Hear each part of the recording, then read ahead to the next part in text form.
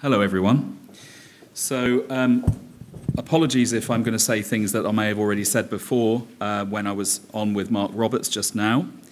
Um, I've got a presentation for you here um, just to take you through um, our experience uh, with bulk wine and e commerce.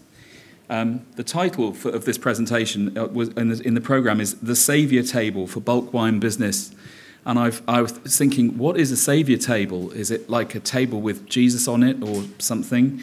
Um, and then I just took table out. So if, if it is an important phrase, I'm sorry for missing it out.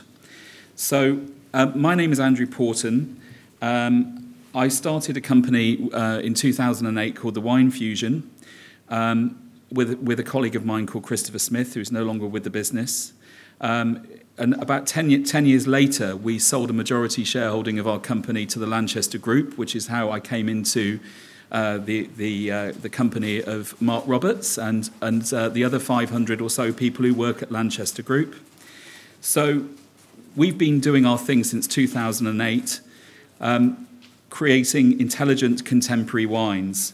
Um, it, it, we, Chris and I were working for a company called Orbital Wines, which did some pretty edgy marketing um, around about that time with a product called Stormhoek. So Stormhoek was uh, the first wine brand that had an online blogging um, marketing uh, uh, approach. We actually grew the, black, the brand through the blogosphere. It was the first time that had been done. We had a product um, called Camden Park. Subsequently, those, uh, those products ended up with Origin, and uh, Chris and I um, started Wine Fusion with the view of, of taking some of the creative spirit of our former job and bringing it to, to, to the fore in our own business. So that's how it all started. Um, about three years into our business, we, we were producing some quite unusual wines and some quite different blends. We had, we had a bottling uh, program for quite eclectic regional wines from Italy, as an example. We produced a, an open source product uh, for virgin wines, so over here um, called Cordis Vinum, also in Italy. So we actually did created an online platform and allowed uh, members of the public to actually vote on aspects of the winemaking and have direct influence on the products. And at that point, we thought to ourselves, God, we really should define our business because um, it's going somewhere and we need some definition. And some guy came in and said, Oh, your wines are very intelligent and they're very contemporary. So we branded ourselves you know, intelligent contemporary wines. And I suppose intelligent wines are wines that are responsive to what people want to drink, responsive to um, a, a, need. Uh, they're not wines that are produced just, you know, willy nilly and just foisted on people. We're trying to produce things that people actually want in their lives. What makes a wine contemporary? um, you know, attuned to modern tastes, whatever that may be. It may be visual taste, it may be um, uh, actual uh, taste in the glass. And um, that's, that's where we've come from. It's been a long journey, um, and I was just reflecting earlier with Mark Roberts about how the bulk wine industry has changed hugely since 2008, even. Um, in, you know, in 2008, we were scrambling around trying to start this business, and we were trying to find some Cabernet from California and some Shiraz from Australia. And um, that was kind of it. And now look at where we are. We've got a room full of uh, eclectic, um, really exciting wines, and more and more coming on stream all the time. So it's an industry that's changed enormously.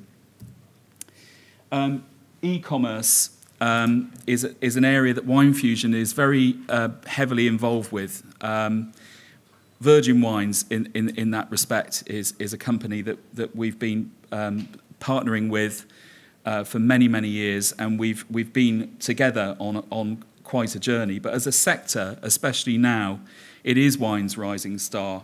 Um, there are various stats around for this, but I, I did read one that across 10 core markets, which includes the UK, Australia, and the US, as well as Brazil and a few others, it is outgrowing the overall wine market by up to 30 percentage points. Um, and then along came COVID. Um, so you can't do anything anymore. You're locked, you're locked down. What do you do? Well, after you've burned down the kitchen with your culinary experiments, you go online and you fill a case with 12 bottles or maybe even 15 or throw in some spirits as well. They arrive, you have this moment with the case, it's got beautiful text on it, and you think, wow, look at, look at this, this I, I want this thing, this is great. You pull out each bottle lovingly, you know, whilst you look at the BBC News, all the bad news in the background, and you open the box and, and you go, oh, look at this. Oh, this is one for the weekend. I'll put that over there. Oh, this one, this one, look, this will go well with my chicken tonight. Um, it's cold chicken because obviously I burned down the kitchen. I'll put that one over here. And, um, you know, online has, has filled um, a niche in, in where people have wanted something new, wanted some adventure, and online wine has given that to them. Um, obviously, the growth in the industry has leveled off a bit, but the evidence to, seems to be the case that people are staying and people are liking the experience. They like the convenience as well as not having to lug um, a case of wine around, which is a pr- pretty, pretty uh, heavy thing. Um, and in the UK, it is estimated that online will be 50% larger as a sector in 2024 than it was in 2019. So, what makes a successful online wine? So, here are some pointers um, from things that my experience, things that we've done. Visual impact. It's, a, it's an amazing thing what you can do with online wine. You, you have the ability to do pretty much anything you want if you want to sell wine in a supermarket or sell wine in, in, in uh, a more traditional arena, you have to design within certain norms. But online, you can, you can do pretty much anything. And you need, just need to create something where somebody goes, I want this in my life. Provenance, this wine is special because, uh, therefore, I'm special too. You know, I'm buying into this thing that's made by this winemaker who looks like a pretty cool guy. I want to have him over for dinner. Um, this looks like a nice place. I, I feel like I could fit in there on holiday. It's, the wine is special, it makes you feel special. Personality, I've already covered that. Um, I think when you, when you talk about personalities of winemakers in the context of online selling, people um, they, they latch on to, to, to, that person. I think that they, there's a lot of personalities in the wine industry, and people like people like that. They, they find them interesting. Exclusivity. This is something that online does very well. Um, these wines are blended exclusively. They are um, they put into packages that are totally exclusive. You can't buy them anywhere else, and you can create mini cults around brands on online platforms there are, there are brands like Black Stump in Laithwaites or um, Black Pig in Virgin Wines where people are looking for the next, next fix of this. Um, and open source wines as well. I mean, we, we, you can engage online. There have been various things that um, I, have been involved with where people um, they pay for wine in advance. It's delivered um, 12 weeks down the track.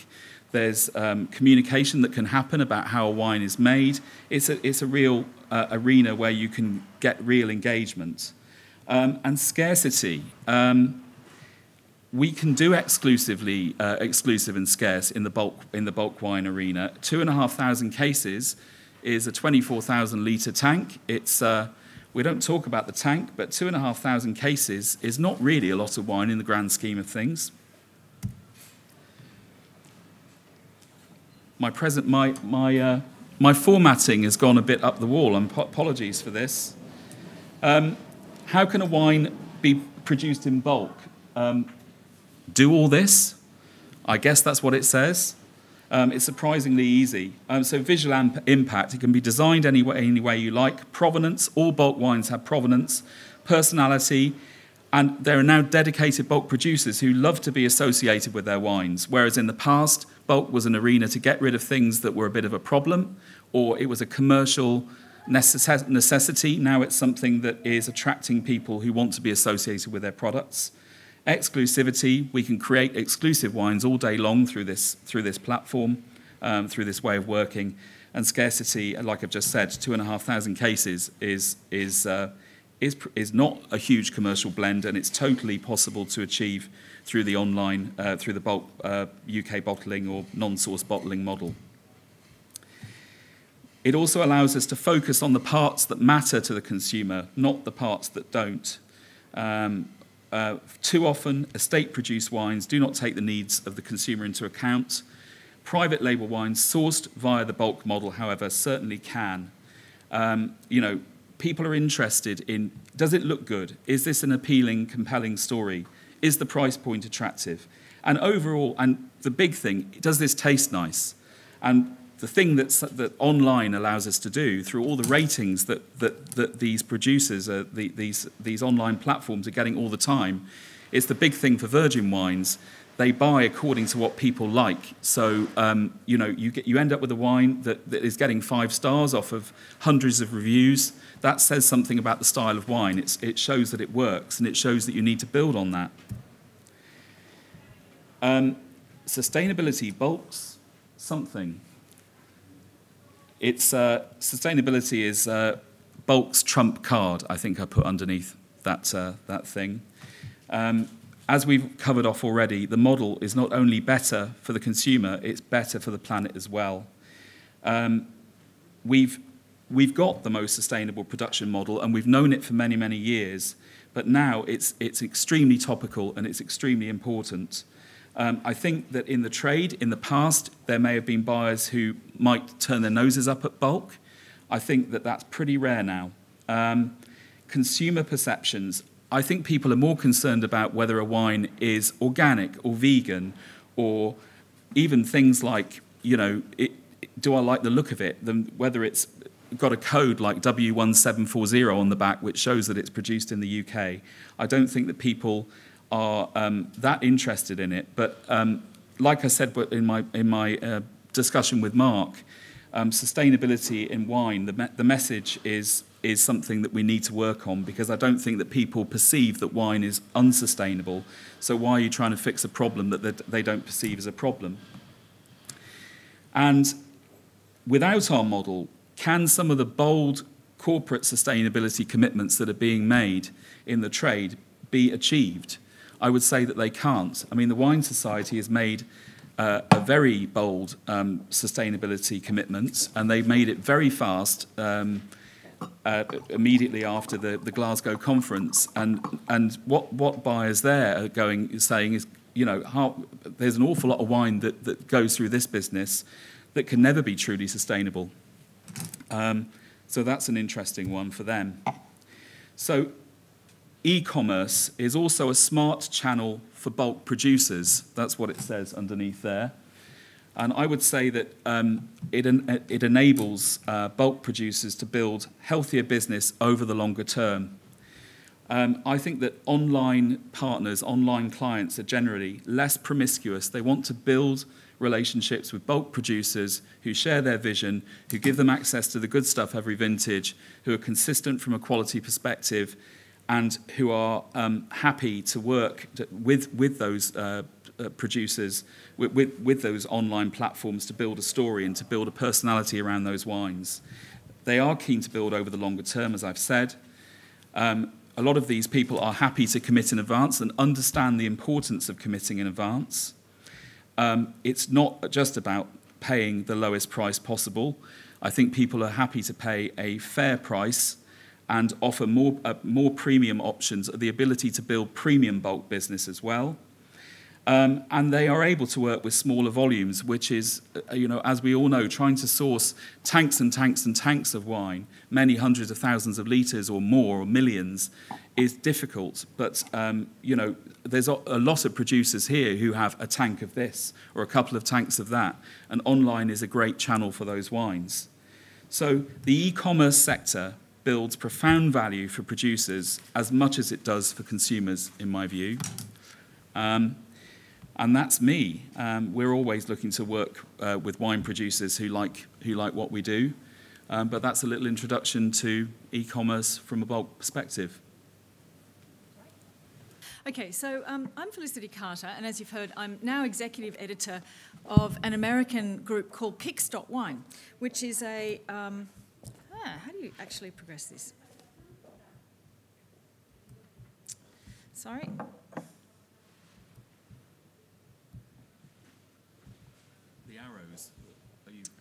Uh-huh. No?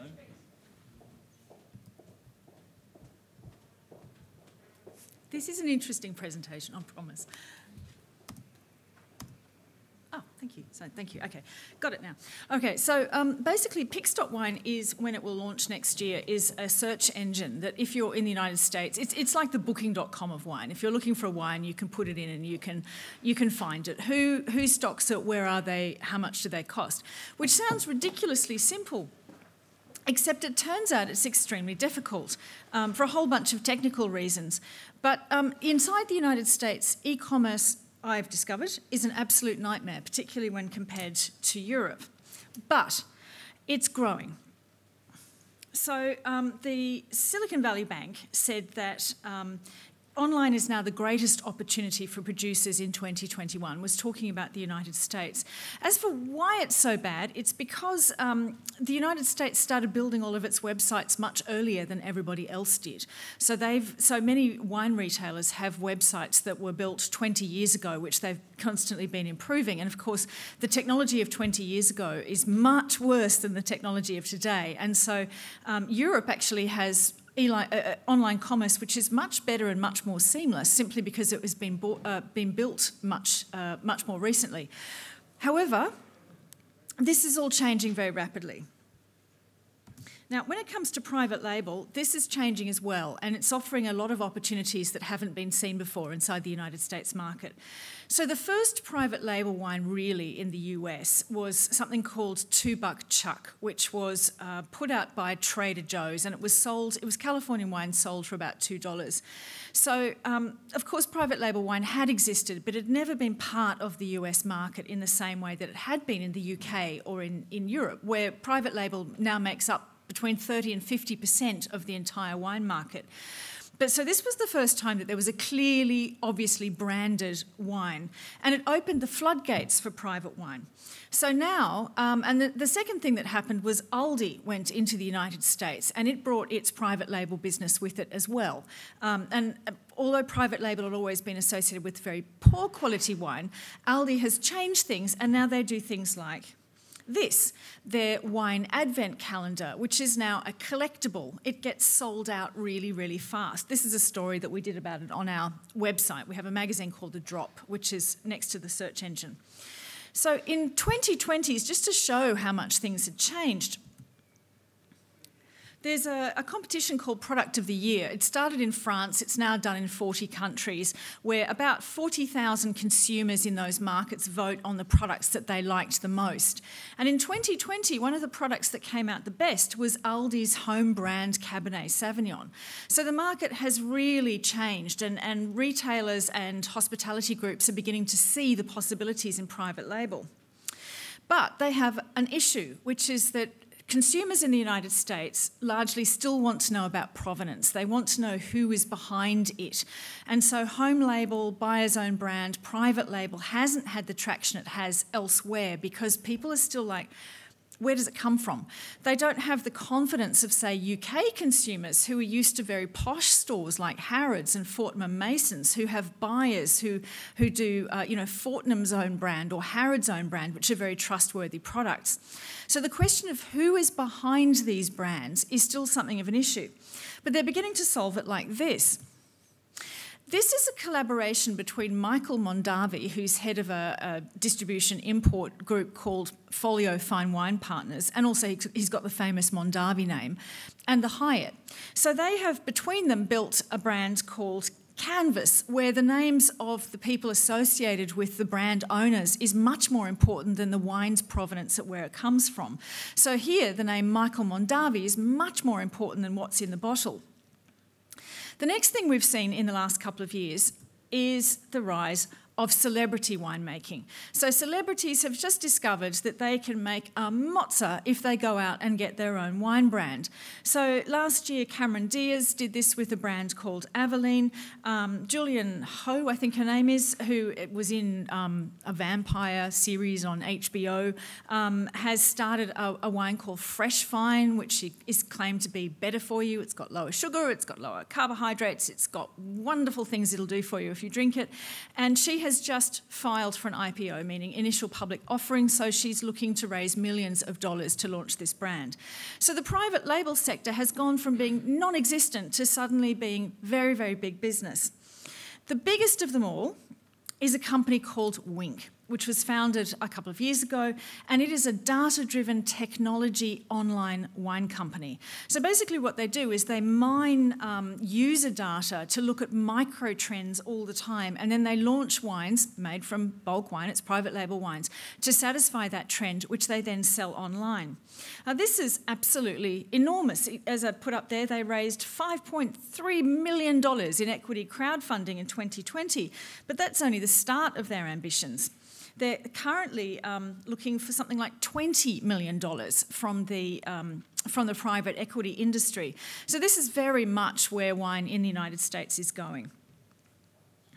And in fact, as Stephen from the Rabobank says, um, we've been hearing more that more of the market is being taken over by private label, and private label is moving into higher price points. But there's a problem.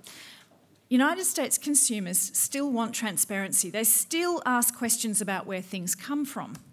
And so, the more successful this sector gets, the more scrutiny it's under.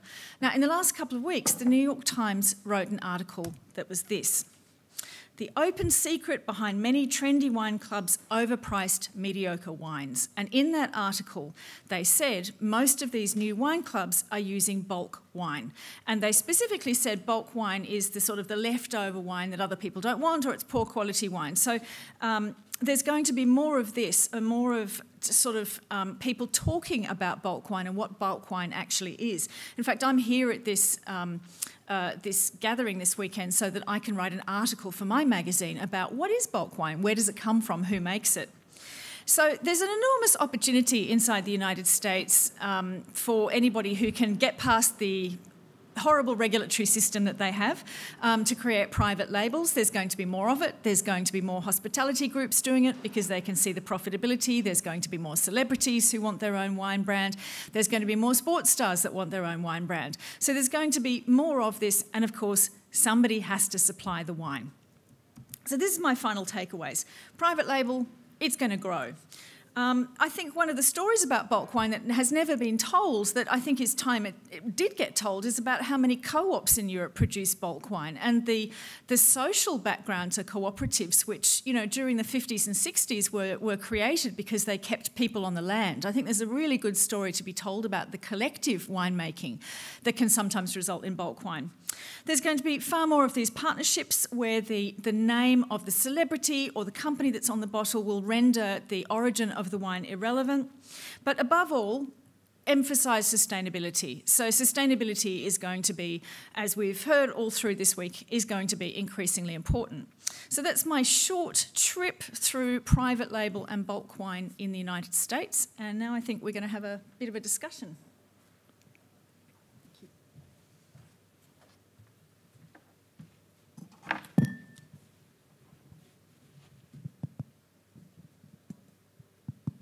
Okay, so I'm actually playing the role of moderator as well as speaker in this. Um, so I'm not going to ask myself any questions. It's quite, it's quite, it's quite hard to moderate one person, isn't it? Yeah, so I've, I've got to keep him in. I, I don't know. I was thinking, should I, should I ask myself questions, except existential ones? What do you ask yourself? Um, so, Andrew, how do you see the evolution of private label in your market? Do you think it's at it's stasis or it's got room to grow? Well, we we've if, talking about you know the area of um, uh, celebrity endorsed brands within online. Um, it's a very different subject to the one I talked about. I mean, I was talking more about exclusive label and uh, buyer's own label than private label in that in that strict sense. Um, I, am not so sure that um, I'm, I'm, very dubious about celebrity brands in wine, but I, maybe I, I need to just sort of um, get over myself and um, take my wine head off. Um, and we, we, we in, in, the, in the virgin wines envi- environment, we've tried a few things. Uh, they've tried a few things. Sometimes I, I, feel like I work for them, so that's why I said we. Um, they, there, there was a product called Vino by Vana, which um, which was a, a lady called Vana uh, Koutsmousis, I think she was called, who came third in The Apprentice. And, um, and she, just, she decided that her business project was going to be um, a grapefruit flavored French wine thing. And um, she she went to see um, went to see Virgin Wines and said, "I can't tell you who won The Apprentice. Um, I can't tell you. I'm sworn to secrecy. But you really should stock this stuff." And every, I think everyone thought, "Oh, oh, she's going to win." So they bought it, and then she came third. And um, the, but the issue was was that the, the you know she was well known on television at the time, and people liked her. Um, but the, the, the truth of it was is that the product didn't stack up in, in the environment, and people I think realised that at the pri- at the price point that it was at. I think there's actually still some there now, um, so it's not it's not aged especially well. Well, when I'm, when I'm talking about celebrity wines, I'm talking specifically about the US market, and these wines have flown off the shelves. I mean, I, I actually was so appalled at Cameron Diaz's um, wine Avaline and the claims that she was making that I wrote a story about it in The Guardian. Um, and uh, and, and the, the story got picked up by a lot of other media. It got quoted in Washington Post, New York Post. And so there was a lot of pressure from that one media thing. It made no difference. Uh, in fact, the, the wine sold so well that it's now got extra wines um, added to it. And they're all private label wines. And so because of that, I think a lot of very famous people have seen the opportunity and they're all leaping in. And in the US market, it works works really, really well. I mean, there's there's a couple in the UK um, that that that have that have happened. Um, one is the Graham Norton uh, Sauvignon Blanc. Obviously, that was the wrong horse to back, given what's happened in New Zealand. Um, and the other one is the Philip Schofield box wines. Um, but um, yeah, I think it, I, I, guess it, I guess it. I mean, it, it's not something we can talk about in general in general terms because they're all very different. These things and um, it, it's uh, I, my, my, my experience of, of celebrities in marketing wine are the kind of mini celebrities we create around, around winemakers um, in, in, these online platforms, and, and people do lap that up very much, um, which, is, which, is, which is encouraging. I, I, can only tell you what I'm seeing in the market. Yeah. I'm not saying it's a good thing. I'm just describing what I'm actually no, no, seeing. No, fine, fine. Yeah. Um, but in, in, terms of in terms of uh, moving into different varieties and different uh, winemaking, how much do you think consumers have changed in what they will accept? Are they actively looking for new things, or is it that when you present them with new things, they're much more willing to try them? It's. I think that um, people are uh, sometimes need a bit of a nudge to try something new, um, but I, I, have I have felt in the last year that, that people are a lot more open minded when it comes to wine, wine style and um, trying new things than we would have previously, previously given them credit for. Um, it's, it, it, it surprises me on, on the online platform how sometimes a wine that you don't think will um, do particularly well, that is quite out there in terms of how it might look or, or how, it, how the style is, does really, really, really well. Um, so I think I think people are um, that there's people are open to new new ideas, and I think online it gives give, does give people that nudge because when you get the email or, or you look at the web page, you've got all these reasons to buy, and you've got um, people telling you that it's a, it, it's it's a smart thing to purchase, and people go, okay, I'll give that a go. Um, and then also there are on uh, you know it, it's quite un, un, it's not a very convenient thing to go shopping. I mean, we're not all lucky enough to have um, a beautiful wine shop full of stock full of wonderful wines, and, and the, the online um, wine retailers do have loads and loads of interesting things that you can try. And so it does attract people who have an open mind to, to wine, wine, wine buying. Okay, have we got any questions? Yes. I wanted to ask you because I also saw this advertisement with Cameron Diaz. I find, and also the, the, the things you said about wine. I thought, what kind of briefing did you got? What what kind of uh, what what's behind? What's the story behind it? Because in the end, I think it's also not only the name but also the quality of the wine. And uh, Andrew, you, you talk a lot about that needs to be a story told when you sell wines in e-commerce. How come the story of Cameron Diaz worked so well? I wonder, because everybody who's in wine had some comments about it. Actually, I can answer that. It's because of a very specific marketing tactic that she was using, which is called disparagement marketing. So, what, what her wine is, this is slightly off the topic of bulk wine, but what her wine is, is what's part of a new and emerging category in the United States called better for you wines, where people are selling wines on the basis of what they don't have in them. So there's a lot of people now, and a lot of online private label wine clubs are doing this. They're doing things like testing for pesticide residue, and they will say, um, Our wines don't have any pesticides in them. Are you sure that all those other wines you're buying are free of pesticides? Um, and Cameron Diaz was part of kick, kicking off that movement where she said, um, I like drinking wine, but I discovered that there are all these terrible chemicals and additives in it. So I've created a wine that you can trust that it's clean and free of all of that. So that message combined with her celebrity is really what sold those rather mediocre wines.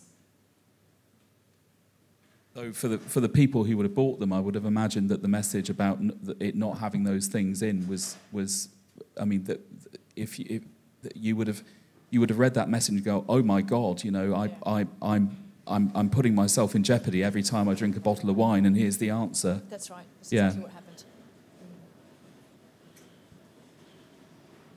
Mm. Any other questions?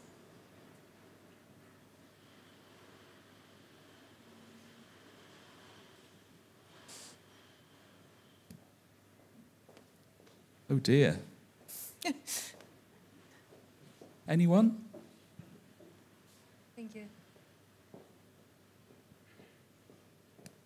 Hi. Um, Hi. My question is to Andrew.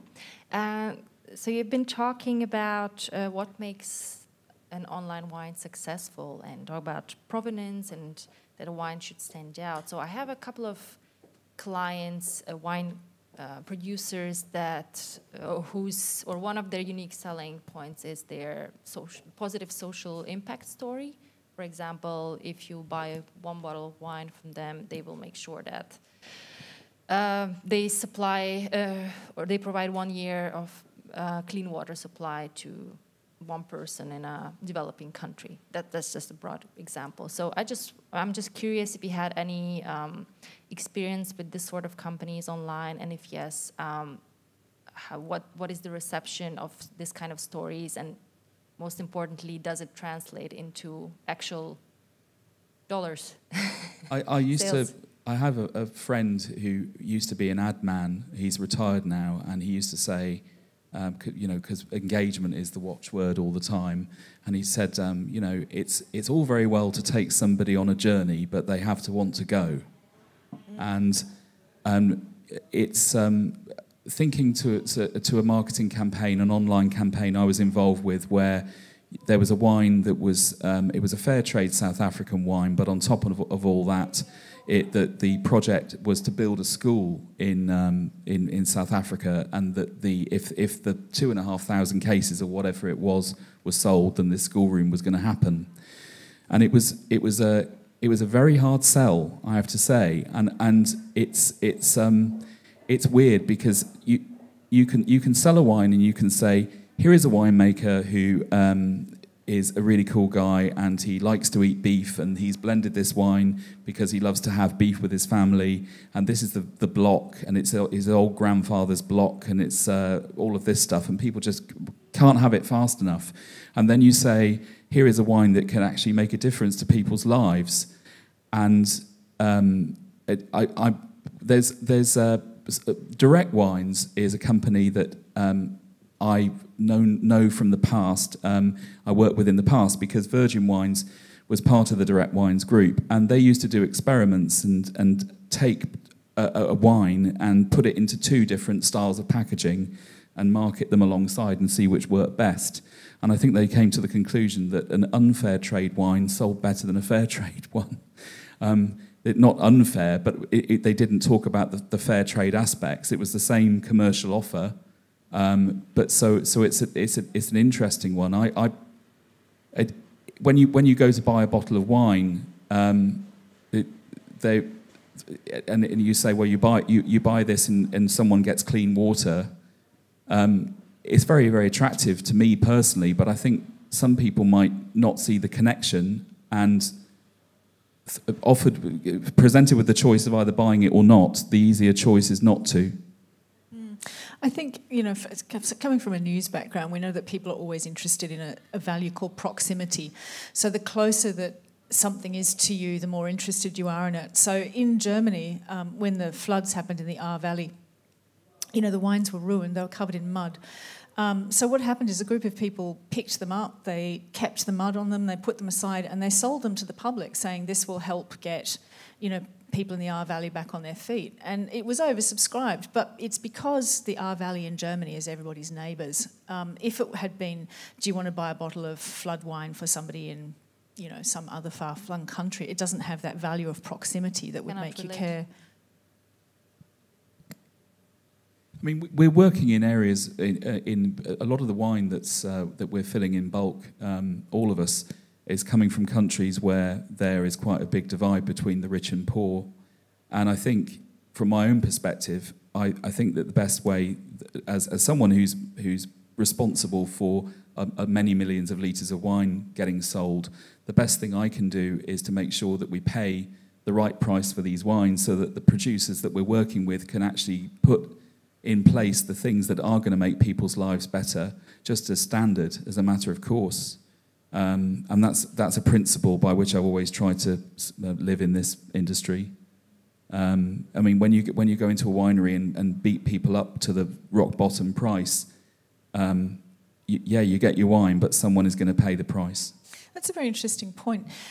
When you when you walk around here at this fair, there's a difference between people who are selling wine at, you know, a dollar a litre, and then if they sell it at twenty cents a litre and it goes up by one cent, they tell me their customers will, um, uh, you know, say I'll, I'll buy from somewhere else. Do you see in the bulk market that prices are rising, or that producers are getting better deals for their their grapes? Well, price, prices are certainly rising, um, but I think that's um, you, that a, a lot of the, the um, raw materials that go into wine production at, at all levels are going up in price. Um, but but people, um, the bulk wine industry has been very good at um, generally improving quality and then latching on to um, what the market will permit in terms of allowing the floor of pricing to rise. Um, and and it, it it's um, I mean it, it was there was pricing uh, many years ago that, that, that was just way too low. I mean you look you looked at it and go South Africa being a fine example where you could scoop up stuff for like three or four rand a litre. I mean no one can make any money at th- three or four rand a litre, and um, course people were very happy to buy at those prices. So it, it, it pleases me actually when we can get a bottle of wine onto the shelf at a, at a price where there's room for everybody to make money and everyone to be okay, and, and, and then the consumer gets a great drink as well. No, that's good to hear.